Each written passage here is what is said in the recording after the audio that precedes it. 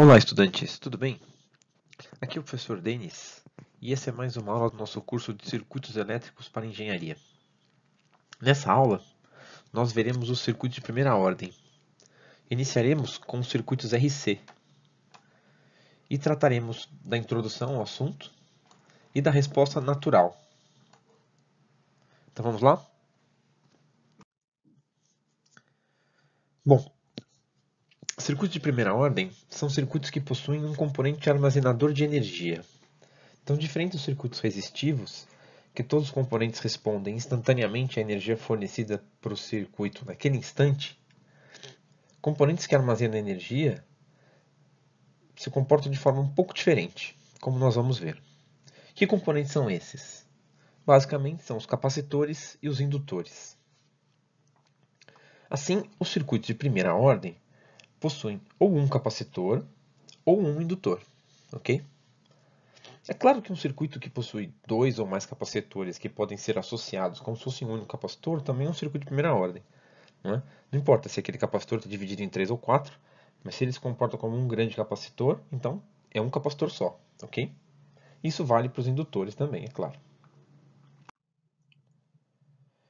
Bom, dentro do circuito elétrico, então, os indutores e capacitores têm a capacidade de armazenar energia. Vamos refletir um pouco sobre o que significa isso. A energia ela não se dissipa, simplesmente.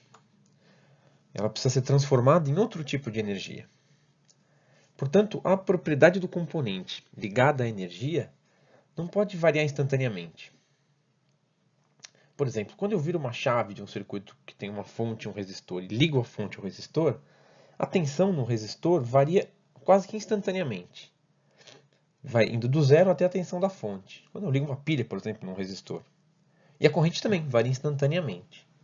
Isso acontece com muitas variáveis dentro de um circuito elétrico, mas não com aquelas ligadas à energia de componentes que armazenam energia. Quais são elas? Num capacitor é a tensão. Então, num capacitor, a tensão dele tem que variar continuamente, independente do que aconteça no restante do circuito. Já no indutor, a corrente que passa pelo indutor sempre varia continuamente, independente do que acontece no restante do circuito. ok? Então, nesses componentes, a equação constitutiva, que equivale, por exemplo, à lei de Ohm para um resistor, ela não está ligada diretamente à variável em si, mas à sua derivada. Bom, o nosso foco nessa aula é nos circuitos com capacitor. Então, o capacitor é um componente eletrônico construído para armazenar energia no seu campo elétrico. Ele é feito geralmente por placas, que podem ser enroladas ou não, separadas por um dielétrico. De modo que ele acumula uma, um espaço ali que permite que surja um campo elétrico interno ao capacitor. Este campo elétrico interno ao capacitor guarda energia. É? A energia acumulada num capacitor é dada pela seguinte equação. Ó. É a capacitância vezes a tensão no capacitor ao quadrado dividido por 2. É o famoso CV quadrado sobre 2. Portanto, a gente vê que um capacitor que tem tensão tem energia guardada nele. E é por isso que, repetindo, a tensão num capacitor não pode variar instantaneamente, porque isso significaria que a energia variou instantaneamente. Ela não pode variar instantaneamente. A energia precisa ser transformada em calor, em carregando um outro capacitor, ou carregando um, um indutor. Ela precisa ser transferida para um outro tipo de energia, ou mesmo para o mesmo tipo de energia para um outro componente. E aí sim a tensão do capacitor pode cair. Mas você não pode simplesmente sumir com a energia. Então isso implica que a tensão do capacitor é contínua certo? Olha aí uma aplicação de cálculo, né, de funções contínuas. Nós temos aqui uma função que é contínua, que é a tensão no capacitor. Então não posso ter um degrau nessa tensão. Com isso, é possível mostrar, e quem estudar um pouco mais de eletromag vai ver, vai ver essa demonstração, mas aqui a gente vai pegar essa fórmula pronta, essa equação constitutiva pronta, que uma vez adotando estes sentidos para tensão e corrente no capacitor, ou seja, adotando que o capacitor é um componente que recebe energia e não fornece energia, A equação constitutiva do capacitor vai ser essa daqui. Ó. Essa é para imprimir grande e colar em cima da cama para ficar olhando durante o curso de circuitos elétricos, certo? Ela diz que a corrente no capacitor é igual à sua capacitância vezes a derivada da tensão. Olha que coisa interessante, não é? Então, diferente de um resistor, que a corrente é proporcional à tensão, aqui você pode ter tensão num capacitor e não ter corrente. Você só vai ter corrente num capacitor se a tensão desse capacitor estiver mudando. Então, só existe corrente num capacitor se a tensão estiver aumentando ou diminuindo.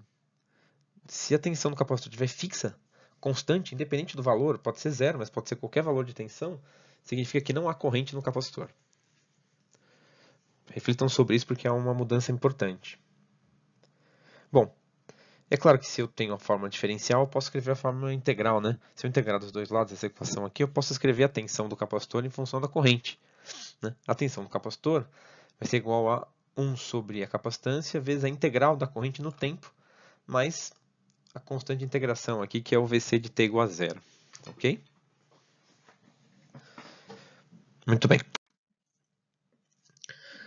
Um conceito importante para circuitos de ordens baixas e altas, mas para circuitos que têm componentes armazenadores de energia, e que vocês verão vai ter um impacto importante no estudo de controle para vocês, é o de variáveis de estado. Então, pelas relações né, com a energia armazenada, a tensão do capacitor e a corrente no indutor, que a gente vai ver na, numa aula posterior, ela é contínua no tempo. Assim, a tensão no capacitor e a corrente no indutor têm uma, uma propriedade, uma, um papel muito importante nas equações do circuito. E são chamadas, então, de variáveis de estado em um circuito. ok? Circuitos de primeira ordem também podem ser tratados como aqueles que possuem apenas uma variável de estado. Então, uma tensão de capacitor ou uma corrente de indutor. Tudo bem? Como a gente vai ver, a equação que representa esses circuitos não é mais uma equação linear, ou mesmo não linear, como a gente estava acostumado. Né? Circuitos simples sempre têm equações lineares, ou sistema de equações. Um circuito que possui um capacitor ou indutor, pela relação constitutiva do capacitor e do indutor, que envolve uma relação diferencial, vai ter como equação uma equação diferencial ordinária, que aqui a gente vai sempre chamar pela sua sigla de EDO. ok? Então, por possuir apenas uma variável de estado, os circuitos de primeira ordem, que a gente está estudando agora, vão ter EDOs de primeira ordem. Isso significa simplesmente que vão ter EDOs que possuem apenas derivadas primeiras, ou seja, só a primeira derivada, nunca a segunda ou a terceira derivada de uma variável. Isso vai acontecer com circuitos de ordem superior, que a gente ainda vai estudar nesse curso aqui de circuitos. Bom, mas o que é uma EDO? Né? Rapidamente falando aqui, uma EDO é uma equação diferencial, é aquela que envolve derivadas de uma função desconhecida. Portanto, aqui tem uma grande mudança de paradigma. Quando eu resolvo uma equação, eu estou procurando um número. Quando eu resolvo uma EDO, eu estou procurando uma função. Tem, fiquem com isso na cabeça, ok? De agora em diante, quando você vê um circuito e encontrar nele um capacitor ou um indutor, você sabe que ao resolver esse circuito, você está procurando uma função e não um, um número necessariamente. É claro, por exemplo, que quem já estudou um pouco de circuitos em corrente alternada, com capacitores e indutores, também procura números. Mas é porque, como eu sei que a entrada é senoidal, eu já assumo a saída senoidal e deixo implícito o seno. Mas eu sempre estou procurando uma função, no caso, uma função seno. E depois eu vou atrás da amplitude e da fase daquela função seno. Mas a função seno está lá, ok? Bom, quando a função desconhecida depende só de uma variável, então essa equação diferencial se torna uma equação diferencial ordinária, ok? E aí a famosa EDO. Então é importante a gente saber de onde vem esses números. Então, a equação diferencial é aquela que tem derivadas. E equações diferenciais ordinárias é, são aquelas equações diferenciais que têm derivadas sobre uma só variável. No nosso caso é o tempo. Eu sempre quero saber como essas funções como a tensão no capacitor, a corrente no indutor e as outras tensões e correntes do circuito variam no tempo. Tudo bem? Bom, por possuir apenas uma variável de estado, os circuitos de primeira ordem terão EDOs de primeira ordem. ok? EDOs de primeira ordem aquelas que têm apenas a derivada primeira. Aqui tem um exemplinho geral de EDO, tá bom? Então, uma EDO não é nada demais. É uma equação que depende, por exemplo, da função e da derivada da função. E pode ter termos independentes também. Isso não muda nada. Como essa é uma EDO de primeira ordem, eu apenas tenho aqui uma derivada primeira, ok? Se fosse uma EDO de segunda ordem, eu teria um d2x dt2 aqui, por exemplo. Ok? Muito bem. Bom, então passada essa teoria, nós precisamos ver como é que eu faço isso. Então, ótimo, eu entendi que o capacitor gera uma mudança importante em como resolver um circuito. Como é que eu faço isso, né? Nada melhor como resolver um, um exemplo. No nosso caso, é um super exemplo, porque a gente vai resolver ele de forma literal, de modo que ao final a gente vai ter deduzido o comportamento de um circuito RC, ok? Muito bem. Então, o que pede o nosso exemplo? Que dado esse circuito, a chave que está há muito tempo na posição 1, então eu sei que passado muito tempo da chave nessa posição 1 aqui, ó, ligada desse jeito, que liga o capacitor a um resistor e uma fonte, a chave muda de posição para tempo igual a zero, ok? E vai para a posição 2, desconectando o capacitor desse circuito 1 aqui, dessa malha, à esquerda, e conectando o capacitor nessa malha da direita que só tem um resistor. ok? O que se pede é para determinar a tensão no capacitor em função do tempo, a corrente nesse resistor R aqui, ó, da segunda malha, em função do tempo, e a tensão no resistor R em função do tempo. Tudo bem? Maravilha. Então, o que a gente já faz uma ideia do que vai acontecer nesse circuito é que Durante esse tempo menor do que zero, antes da chave virar, eu coloquei a chave virando no tempo igual a zero, o capacitor carregou, ele se acumulou de energia através dessa fonte V0. ok? De algum modo, esse resistor R0 tem papel nisso, mas vocês vão ver que ele não vai entrar nessas contas. Mas o fato é que o capacitor está carregado com uma certa quantidade de energia. E ao virar a chave, o capacitor vai descarregar essa energia no resistor. R. Para resolver um circuito de primeira ordem, a gente precisa saber quanta energia está acumulada nos componentes armazenadores de energia. Não que a gente precise do valor em joules da energia, mas a gente precisa saber então a tensão inicial desse capacitor, que de algum modo representa quanta energia está lá. Então, com quanta tensão esse capacitor se carregou para depois ir lá e descarregar no resistor, certo? Essa tensão inicial tem um nome importante também nesse estudo de equações diferenciais ordinárias.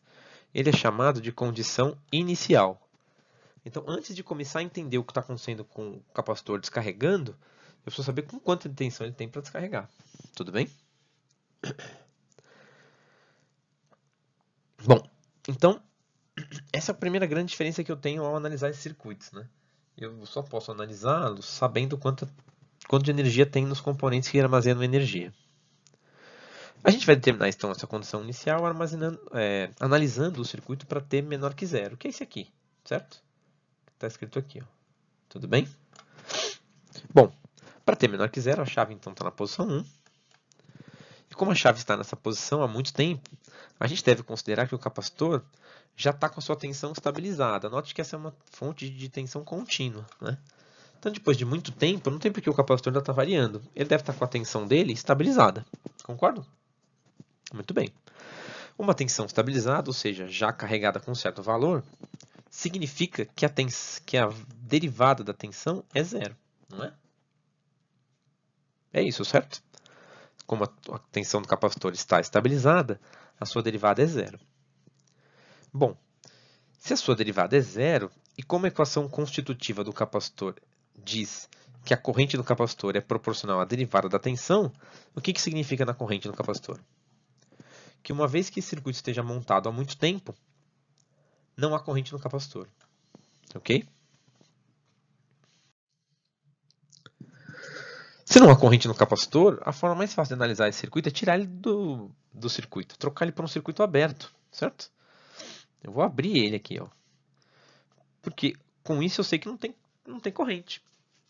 Então eu tenho um componente aqui que não deixa ter corrente. porque ele já está com a tensão estabilizada. E agora me pergunto, bom, se então existe um componente nessas condições, quanto que é a tensão sobre ele? É? Bom, vamos analisar esse circuito aqui. Como não há corrente, e só existe uma malha, eu não tenho corrente aqui nesse resistor R0. E se eu não tenho corrente no resistor R0, a tensão sobre R0 é zero. Eu posso analisar a malha se eu quiser, mas está na cara que o que vai acontecer aqui é que essa tensão VC, para t menor que zero, vai ser igual a V0. Só sobrou esses dois componentes, já que não tem tensão em R0, não é isso? Então a condição inicial foi calculada. A tensão no capacitor para t menor que zero é igual a V0. Tudo bem? Agora a gente pode voltar os nossos olhares para a segunda parte, que é a mais interessante do circuito, que vai, a partir do tempo maior que zero, ou seja, no instante t igual a zero, essa chave aqui muda de estado, e o capacitor passa a ligar numa malha mais simples ainda que essa aqui. Só que está com a energia armazenada. A pergunta é, como essa energia vai sair desse capacitor e vai se tornar corrente e ao se tornar corrente vai se dissipar em forma de calor por efeito Joule aqui no resistor. Certo?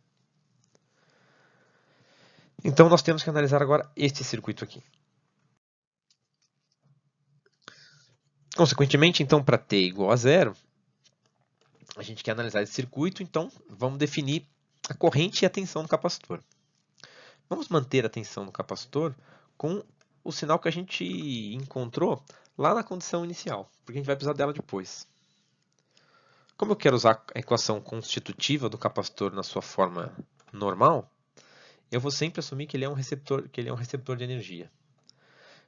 Como a tensão está apontando para cima, a corrente tem que apontar para baixo. Tudo bem? Não fiquem preocupados, porque isso parece um absurdo, não é? Está na cara que nesse circuito é o capacitor que fornece energia para o resistor e, consequentemente, ele não vai ser um receptor, vai ser um gerador de energia. Mas se você inverter agora essa corrente e já forçar a barra para ele se tornar um, um transmissor de energia, você corre o risco de errar os sinais.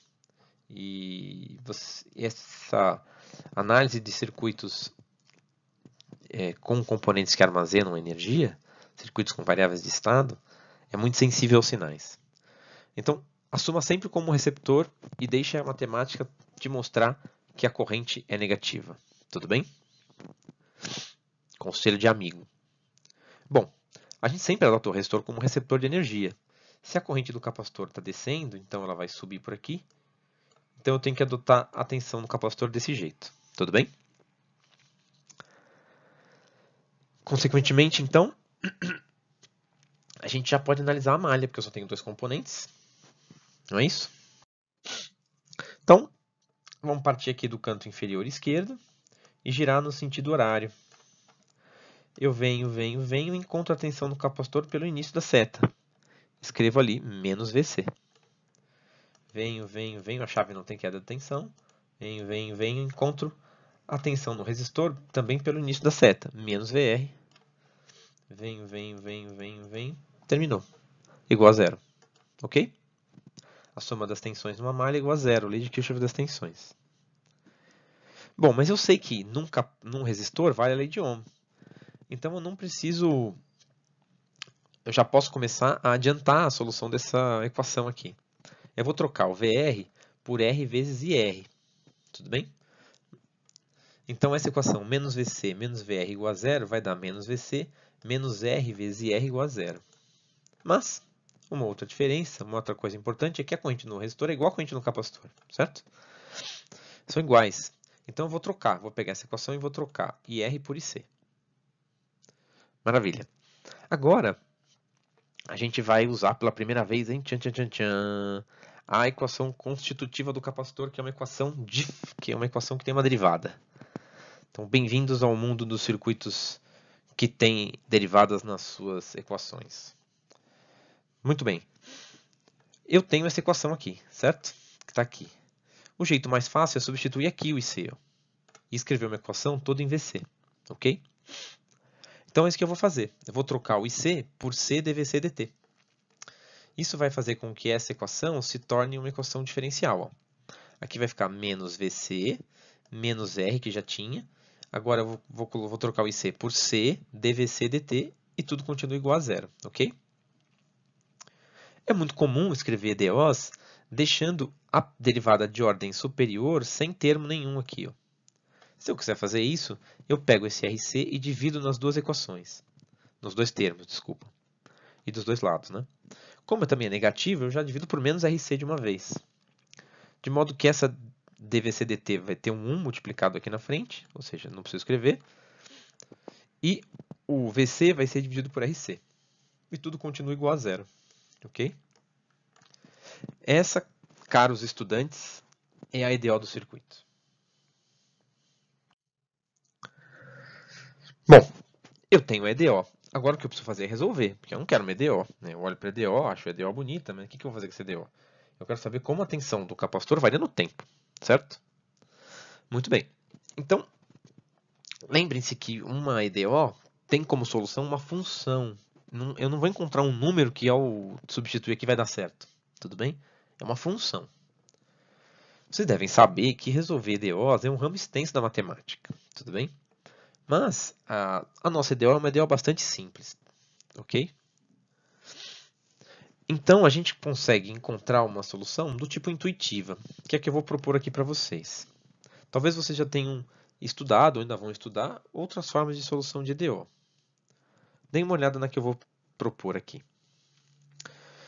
Nós podemos inverter esse EDO aqui, jogar o VC para o outro lado, escrever EDO desse jeito, ok? A gente pode ler ela e pensar que ela significa o seguinte, ó, dvc dt é igual a menos 1 sobre RC VC. E a gente está procurando uma função para colocar no lugar de VC. Então eu posso me fazer a seguinte pergunta. Que função, ao ser derivada, vai voltar a cair nela a menos de uma constante? Porque isso aqui é uma constante. Menos 1 sobre RC não é nada mais que uma constante. Então o que eu tenho é que a derivada de VC é igual a VC. Certo? A menos de uma constante. Que função é essa? Que ao derivar cai nela mesma. Quem lembra um pouquinho de cálculo vai responder rapidamente a exponencial. A nossa querida e amada exponencial. Então, vamos supor aqui uma solução do tipo exponencial, certo? E deixar livre as constantes que podem ser ajustadas para que essa exponencial se encaixe na nossa EDO. Vamos ver se dá certo? Então, vamos propor uma solução do seguinte tipo. Ó. A tensão no capacitor vai ser igual a uma constante vezes E elevado a S vezes T, sendo S uma outra constante. Então, eu tenho duas constantes. Uma constante que multiplica a exponencial e uma constante que multiplica o expoente do exponencial. De modo que eu posso tentar ajustar essas duas constantes para que elas se encaixem e resolvam esse DO. Ok? Como é que eu sei se isso vai acontecer ou não? Substituo, certo? Pode ser até que essa função não sirva para resolver aquele DO. Então eu venho aqui, ó, substituo. Toda vez que resolvo uma equação, seja ela linear ou medial, eu posso fazer isso. Posso pegar a solução, voltar e ver se ela dá uma solução do tipo 1 igual a 1, 2 igual a 2, certo? Muito bem. Então, ao substituir, eu vou ter uma EDO assim, ó, que é a derivada da exponencial é igual a menos 1 sobre RC a exponencial, certo? Olha, para fazer a derivada dessa exponencial, eu posso tirar a constante a para fora, não é isso? Vai ficar assim. Aqui também eu posso reescrever, tirar esse parênteses aqui, vai ficar menos A sobre RC e elevado a ST. Não é isso? Agora eu vou derivar essa exponencial aqui. Ó. Eu vou precisar usar a regra da cadeia, certo? A derivada da exponencial é a própria exponencial, vezes a derivada do que está dentro aqui, certo? Não. Vezes a derivada do termo. A derivada de S vezes T é igual a S. Pela regra da cadeia, tudo bem? E isso é igual, então, ao mesmo termo que tinha aqui. Agora vamos dar uma olhada no que sobrou aqui. Ó. Eu tenho de um lado A vezes a exponencial vezes S, e do outro lado menos A sobre RC vezes a exponencial. A exponencial está dos dois lados, e essa exponencial nunca vai ser zero, diga-se de passagem. Então eu posso vir aqui e cortar ela. Posso ou não posso? Maravilha. Aqui eu tenho que A igual a A também. Então, desde que eu imponha que A não é zero, mas se o A for zero, que raio de solução é essa que eu escolhi aqui, né? Zero vezes exponencial não é solução nenhuma mesmo. Então, se o A for diferente de zero, eu também posso cortar ele aqui dos dois lados. De modo que eu tenho aqui quanto vale S. Ó. S é igual a menos 1 sobre RC. Não é isso? Ou seja, vamos olhar com calma que é a primeira vez que a gente resolve uma EDO aqui no curso de circuitos. A função VC igual a A vezes a exponencial de ST é a solução da seguinte EDO, desde que o S seja isso. Tudo bem? Portanto, a tensão no capacitor, ou seja, a solução da EDO, é essa aqui. Não é? VC igual a A vezes E elevado a menos T sobre RC. Pô, legal. Bacana, conseguimos. Resolvemos a EDO sem ter que fazer uma integração nem nada. A gente achou uma função solução. Mas tem uma coisa engraçada. E esse A aqui? Essa constante, ela não vem da EDO. Eu não consigo encontrar o valor dela só olhando para a EDO. Não é? Mas tem mais uma informação que eu guardei desse circuito. Muito importante. Que é a sua condição inicial. Esse A depende de quanta tensão tinha no capacitor quando eu virei a chave. Certo ou não? Isso é importante, né? Ainda bem que tem alguma coisa nessa função que me remete quanta energia tem no capacitor armazenado. Ok? Bom, como é que eu faço para entender isso direitinho? Olha, eu lembro, a coisa que eu comecei falando dessa aula, que a tensão no capacitor tem que ser contínua no tempo. Se ela tem que ser contínua, a tensão no capacitor antes de virar a chave tem que ser igual à tensão no capacitor depois de virar a chave. Ah, é ou não é? Não é essa definição de contínua? O limite pelos dois lados encontra o mesmo ponto? Então, ó, de novo o cálculo aqui aplicado. Hein? Então, essa definição de variável contínua vai me levar à ligação entre os dois circuitos. É? Esse lado esquerdo aqui vem do circuito antes de virar a chave. E esse lado direito vem do circuito depois de virar a chave. Antes de virar a chave, a tensão no capacitor é igual a V0. Não é isso que a gente descobriu? Trocando o capacitor para um circuito aberto e tudo mais. E depois de virar a chave, eu tenho uma função, então vou calcular o limite dela. Certo? Então, o limite para t tendendo a zero pelo lado positivo de a vezes e elevado a menos t sobre rc. Não é isso? Vamos resolver esse limite. Mais uma aplicação de cálculo aqui. Ó. Então, eu pego a constante a e tiro para fora. Certo? Isso vai dar aqui a vezes o limite de elevado a menos t sobre rc. Ok? Agora eu tenho que resolver esse limite. Esse não é um limite difícil, certo? Basta substituir o t por zero. Né? Menos rc vezes zero vai dar zero. Menos zero, eu escrevi aqui, mas tanto faz, menos ou mais zero. Então isso aqui vai dar v0 é igual a a vezes e elevado a zero. Quanto que é e elevado a zero? Qualquer número elevado a zero é igual a 1. Então, V0 é igual a A vezes 1.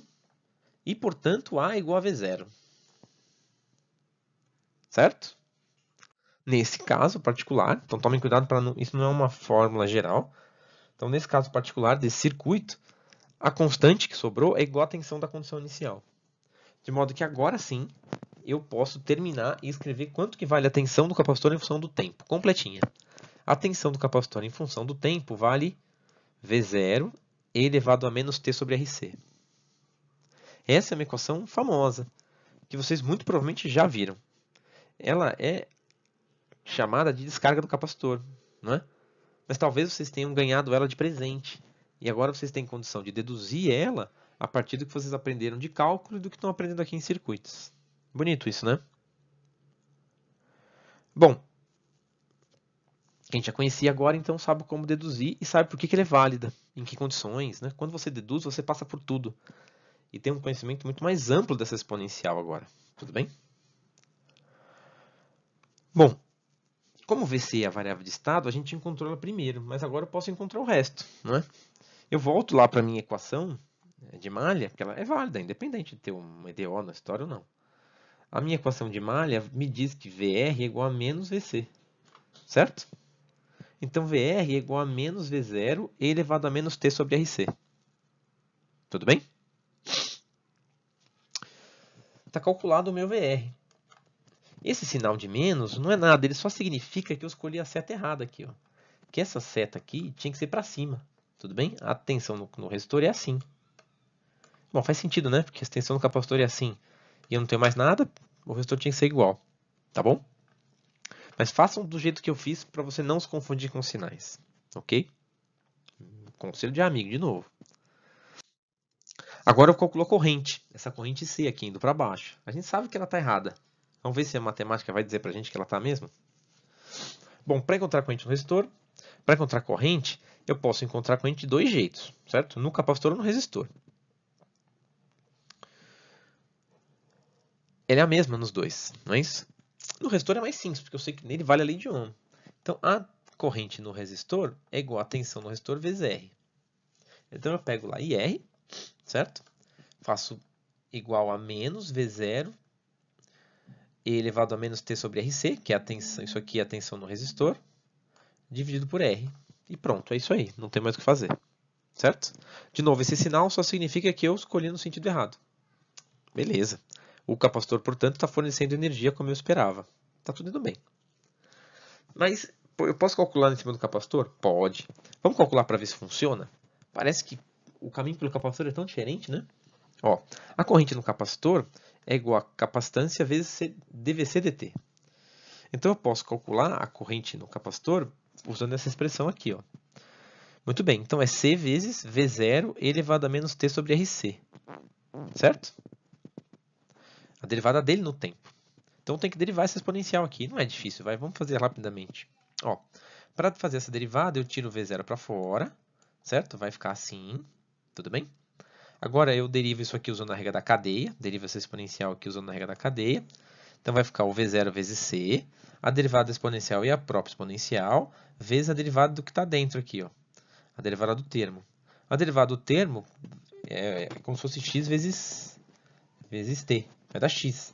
Esse x é menos RC, tudo bem? Como eu tenho C aqui e o C aqui, ó, eu corto o C dos dois lados, e eu vou ter que isso aqui vai dar menos, olha o menos aparecendo de novo, V0 sobre R elevado a menos T sobre RC. Tchan, tchan, tchan, tchan. Bateu, hein? Ah, que maravilha. Funciona. Certo? Muito Bom, vamos dar mais alguns nomes interessantes. Ó. Acabou a solução do exemplo, né? Mas vamos refletir um pouquinho sobre esse. Então, o circuito abaixo é representado, né, esse circuito aqui, um capacitor descarregando sobre um resistor, tem essa EDO. Tudo bem? Que a gente já sabe que a solução é uma exponencial. Sempre que eu tiver um circuito que não tem fonte, note que esse circuito não tem fontes externas. Ele é um capacitor descarregando a energia dele sobre um resistor. Independente da fonte ser contínua, ser alternada, se é onda quadrada, esse tipo de coisa, o que importa é que não tem. Então, a sua EDO não vai ter termo independente, tudo bem? Ou seja, a EDO vai ser igual a zero aqui. Ó.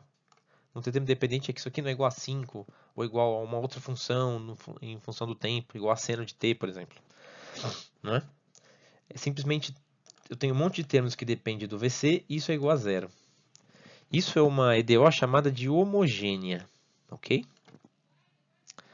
A solução de circuitos e, consequentemente, de EDOs desse tipo é aquilo que a gente chama de resposta natural, ok?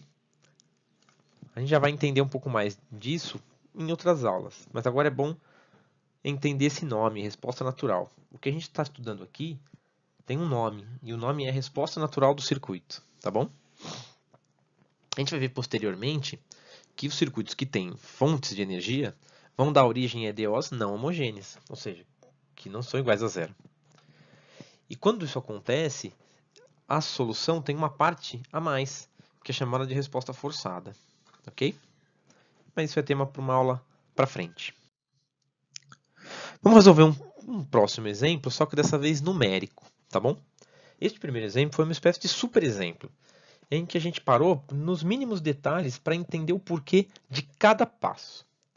Nesse segundo exemplo, a gente vai simplesmente cumprir as etapas que a gente precisa para resolver qualquer circuito de primeira ordem com capacitor, ok?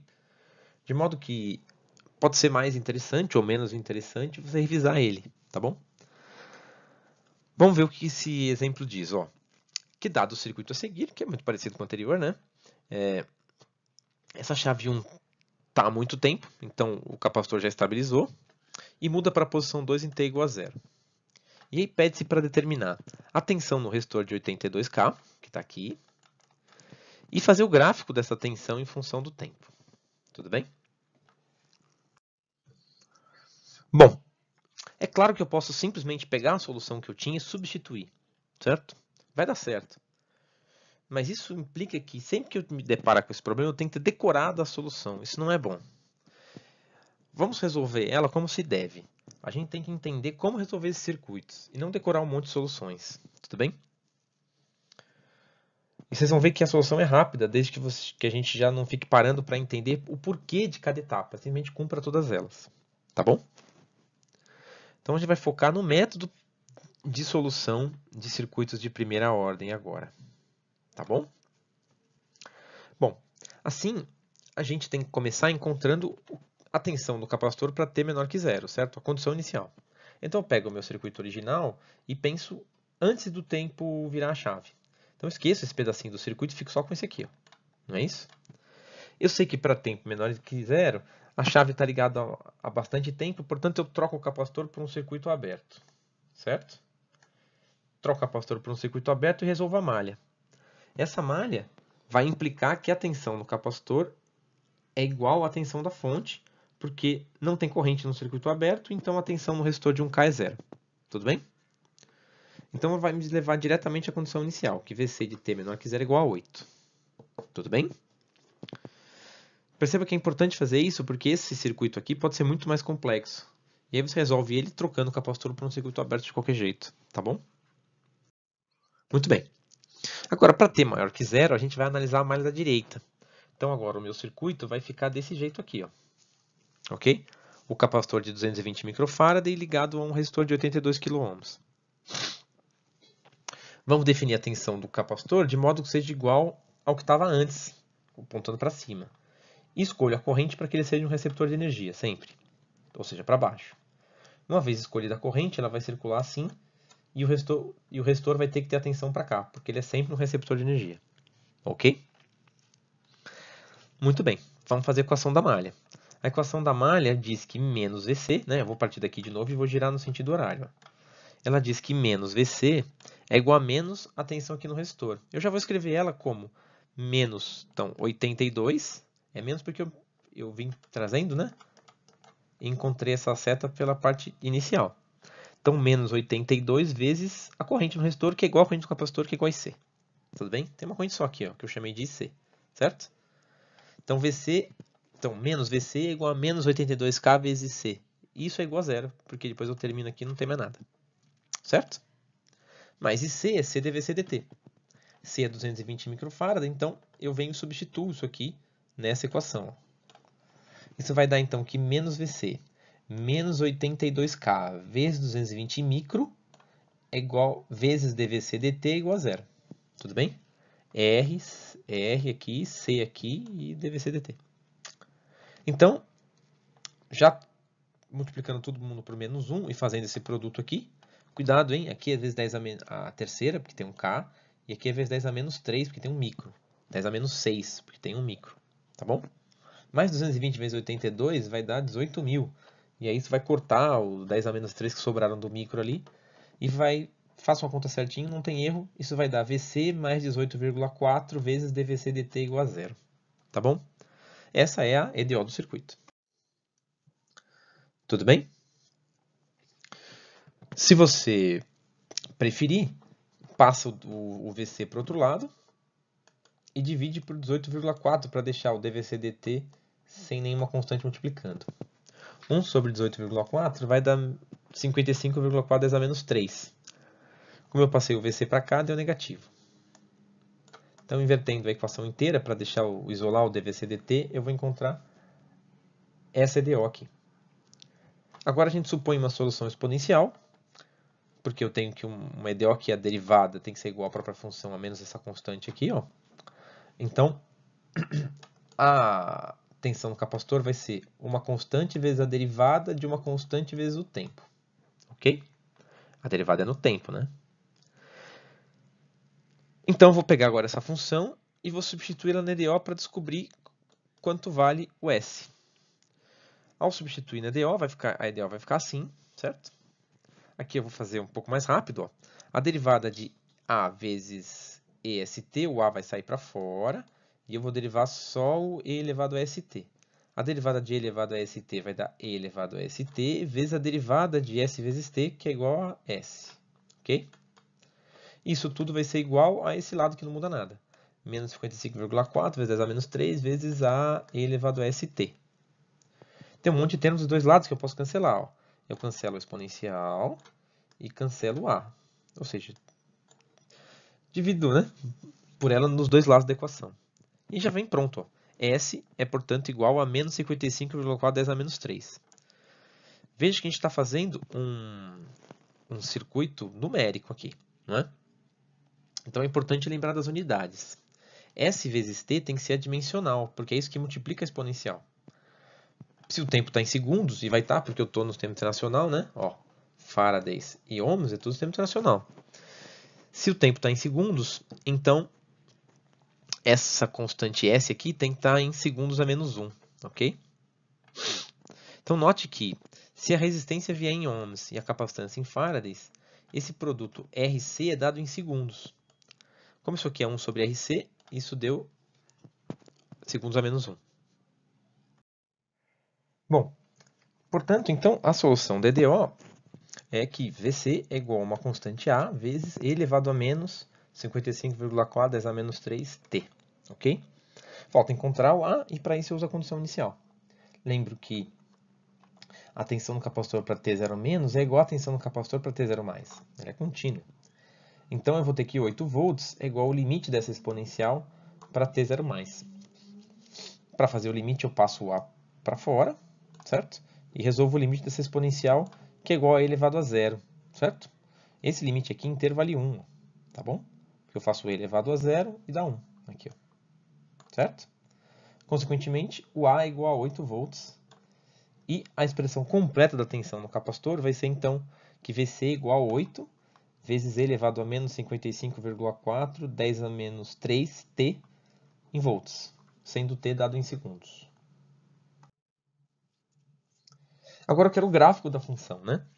Bom, isso é uma função exponencial que decresce com o tempo, é um elevado a menos né, t. O expoente é negativo, se fosse positivo, crescia. Tem dois pontos que eu posso calcular de forma bem rápida. Para quando t é zero, eu já sei, até a função inicial, o VC é 8 volts. E para quando t vai para infinito, a exponencial mata o mata tudo, certo? Isso vai dar é, 1 sobre infinito. Então vai dar zero. Então sei que essa exponencial começa em 8 volts, no tempo igual a zero, e termina em 0 volts. Eu posso fazer um desenho mais ou menos grosseiro, ou posso começar a calcular outros pontos se eu quiser. Né? Mas uma alternativa é usar alguma ferramenta computacional. Você pode usar uma planilha eletrônica, pode usar um software de desenho, ou fazer isso online, certo? Que é cada vez mais acessível. Tem um monte de jeito de fazer isso online. Vou dar uma sugestão aqui. Ó entra lá no site do Wolfram Alpha, ou seja, digita isso aqui no navegador. E lá no Wolfram Alpha, o comando para fazer um gráfico se chama plot. Aí, depois do plot, você escreve a função. Não esquece que vezes 10 elevado a menos 3, você coloca como e menos 3. Tudo bem? Ótimo. E que o vezes é um asterisco. E aí coloca os limites, né? Se você está fazendo de 0 a infinito, ele vai ficar meio chateado, ele vai ter certa dificuldade. Então coloca de 0 a um número grande para você poder enxergar. Eu escolhi aqui fazer de 0 até 100 segundos, tá bom? Porque com 100 segundos já não sobrou nada aqui, ó. Tá vendo? Ok?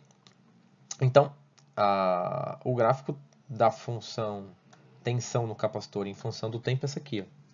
O que está acontecendo com o capacitor? Ele começa carregadão ali, 8 volts, cheio de energia e vai perdendo energia ao longo do tempo. Ele perde energia numa forma exponencial justamente pela EDO que está ali. É aquela EDO diz que a variação da tensão é, igual é proporcional à tensão. Então, no início que eu tenho muita tensão no capacitor, a variação é rápida. Então, ele, ele desce rápido. No final, que a tensão é pequena no capacitor, a variação é pequena também. Então, ele desce devagar. Ok? Então, por causa daquele EDO que diz que a derivada da tensão é igual, é proporcional à própria tensão, isso implicou na, na, na, exponencial e, de algum modo, a gente pode entender que é por causa disso, né? Quando ele tem muita tensão, ele força muita corrente e dissipa rápido a energia dele. Quando ele tem pouca tensão, ele força pouca corrente e vai dissipando devagarzinho. E no final ele só vai terminar de dissipar a energia dele lá no infinito. Tudo bem? Bom, é isso. Eu espero que vocês tenham entendido esses dois exemplos. O primeiro um super exemplo de dedução e o segundo um exemplo de aplicação. O que nos resta agora é tentar resolver um exercício, tá bom? Então, o exercício que eu gostaria de propor para vocês é o seguinte. Nós temos um capacitor que está novamente interligando dois circuitos.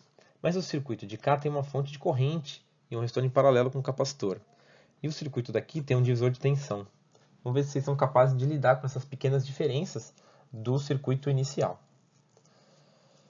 A condição é a mesma, então no tempo igual a zero a chave muda e ela ficou muito tempo na posição 1. E o que se pede é a tensão no capacitor em função do tempo a corrente no resistor em função do tempo e a tensão no resistor em função do tempo. Que resistor? O de 1,2K, o primeiro aqui de cima, tá bom? É isso. Espero que vocês tenham gostado dessa aula e compreendido esses circuitos tão interessantes que são os circuitos com componentes armazenadores de energia. Até mais e bons estudos!